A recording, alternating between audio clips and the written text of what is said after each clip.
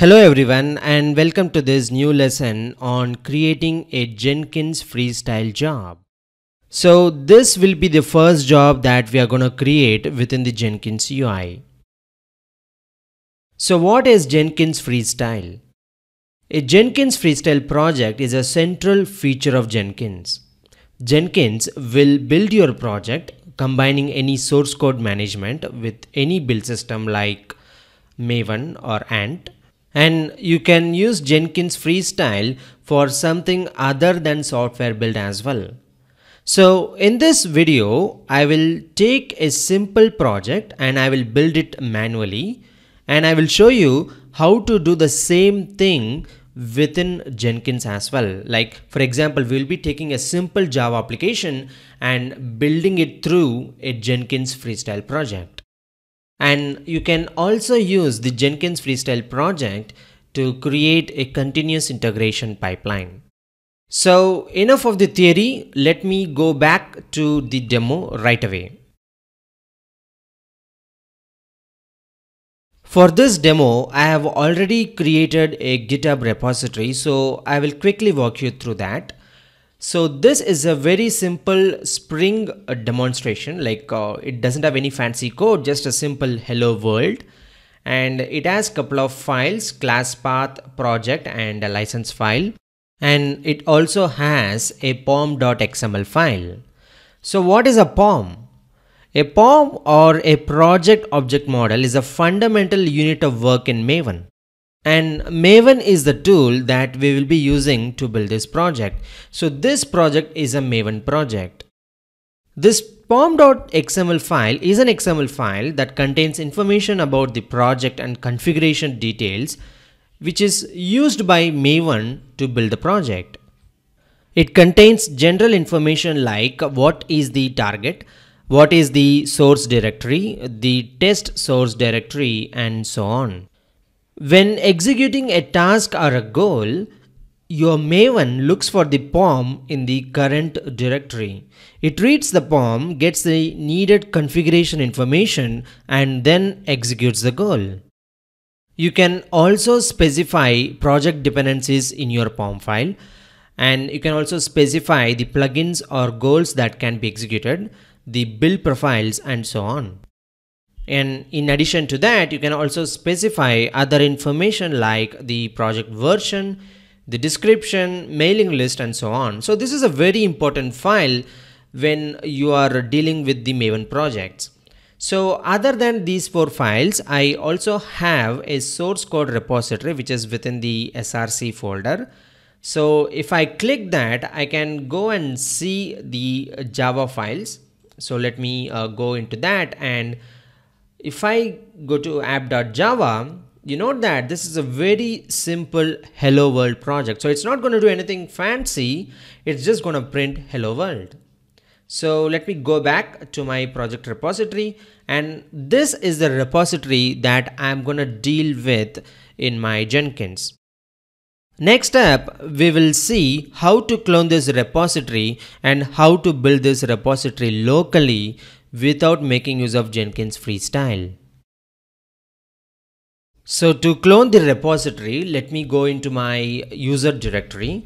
So I will change directories to my user directory Ravikiran S and before that I will add users and I will just clear the screen. So to clone the directory, I will use the command git clone and I need to pick up this particular URL. So I will copy this URL and I will give it as a parameter for the git clone command. So what this command will do is it will copy the files from the GitHub to my local directory within this particular location. So let me uh, clone that. So the cloning is complete and to verify that if it has cloned correctly, you can go into your user directory or to the location where you have specified the clone and go and check the project which available here. So you can see the same directory has been cloned into your local.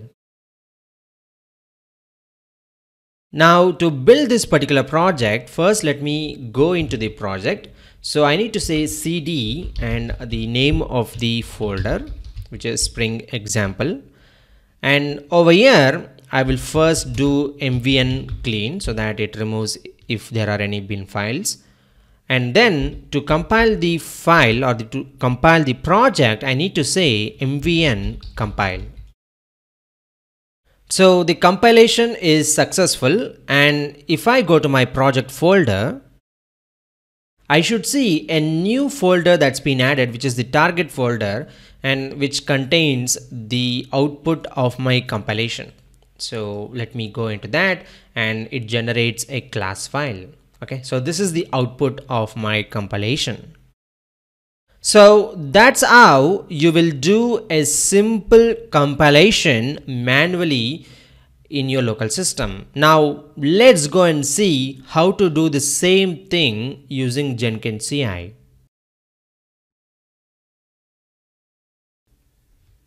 To compile the same project using your Jenkins CI, go to your Jenkins which is typically hosted at localhost colon 8080 or the port that you had specified when you started Jenkins and log in using the user ID and password or the admin user ID and password that you had given uh, when you first created or set up the Jenkins. So let me first log in there. And if I log in there, I see a welcome to Jenkins page and uh, there are actually no jobs. That's why it's not displaying any jobs. Else it would have displayed a list of jobs that has been that have been running here. So to create the first Jenkins freestyle project and to build our uh, app using Jenkins, go and create a new job. So here you see a lot of different options. One is the freestyle project that we are going to do in this video. And uh, the second one is a pipeline, which has been uh, very popular with uh, Jenkins 2.0. So we will deal with pipeline a lot more in the uh, future video series. For now, we will stick to freestyle project and some other um, options are uh, doing a multi-configuration project, multi-branch project and so on. Anyway, we will stick to freestyle project and the name of the project I am gonna give it as a spring project okay or a spring job and I will say okay so this is the section that you will be thrown at when you are configuring a freestyle project. It has several sections. You can navigate these sections either by clicking onto the tab. It will automatically scroll down or you can just automatically scroll down. So it is everything is in one page and they are broken down into different sections like general. So here is a place uh, you will write your description. So let me um, give a sample description sample project. So sample maven project okay?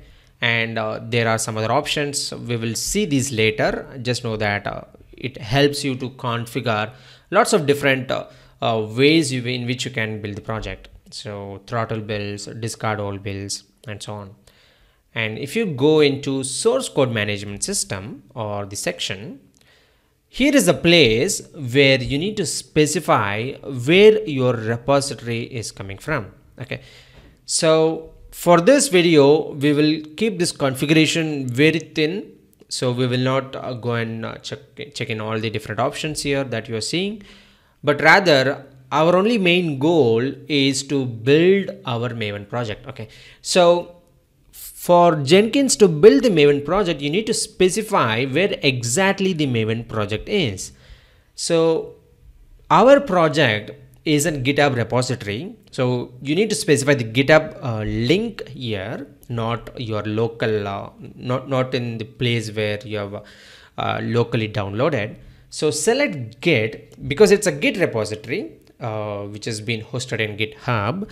And for the repository URL, Again, go back to GitHub and clone the repository and paste it over here. So this is the repository URL and it doesn't require any credentials and the branches we have only one branch. So uh, master is fine. If you have several branches in your repository then you need to specify which particular branch to build. And let me scroll down and that's it. The source code management section we need not give anything else. So directly it will take the project from that place. So once done scroll down and here uh, you have several different build triggers like what actually triggers a new build. Again we will go through some of the options in the next uh, few video tutorials but for now i'm not interested in any of these. I will come directly to the build step so in the build step you would specify what should happen during the build. Okay. So i'm going to specify invoke top level maven targets. Okay. So there are several uh, maven targets. So like one is compile one is test and so on. So here what i'm going to do is i'm going to say compile. Okay. So it's gonna compile the project whenever you say build now and compilation is just one step in the build process. Remember there can be several different steps in your build process. One is test and one is uh, packaging and so on. So we are gonna stick to very simple example in this video. And for me this project uh, this particular job is only gonna compile and tell me the output. And if you want if you do not uh, want to use this option you can also go and use execute shell if you're using a linux system or execute uh, windows batch command if you are using a windows system. And uh, what you would do is uh, uh, suppose i'm using windows. So what I would do is first I need to invoke the maven.exe and then I need to specify the path uh, where that location uh, location of uh, the maven.exe and directly compile. So here you would uh, do something like maven.exe. Okay. So that is not required uh, in uh, the invoke top level maven targets because you're directly uh, talking to the maven okay so that is not required so here i'm going to say only compile as my target and once it is done i'm just gonna go and save it okay so the project spring is created okay and what I'm going to do now is I will go and build the project okay so let's see what really happens when I build the project To build the project, right now, go to your dashboard and go to your project and just say build now. And note that in the build history section, you get a, a process that's been happening. And at the same time, in your command prompt also you can see the status of your build. So open your command prompt. And here in the command prompt you see that spring number one which is the uh, build number one main build action completed and it is a success. So you can see the output over here. Or if you want you can see it in the UI itself. You just need to click the uh, build number and go over here and see the console output. And uh, if you see the console output it will give a step-by-step -step information of what exactly it has done. So here it's first cloning the repository from the GitHub uh, URL that we had provided. And then um, it is going and uh, uh, building the project okay or compiling the project. And uh, it has finished as a success. So if you see here in the second line it is saying something like building in workspace and this particular location. So this is a user directory and within the user directory there is a folder called .jenkins which I had alluded to earlier. So let me go into that particular folder. And if you go into dot .jenkins you will see a folder called workspace and that's where the contents of the build have been stored. And if you see there is a name called spring which is the name that we are given to the job. And if you go into this job you will see the outputs of the build. And just note that this is exactly the same structure or the output structure that was created as and when you built manually. So when you built manually you had the same structure you had the target folder and again here you have uh, the same structure so if you go into com you will see the output so let me go into common and uh, you will see the output of the compilation. So congratulations, you have learned how to create a simple freestyle project and to compile your app using Jenkins CI.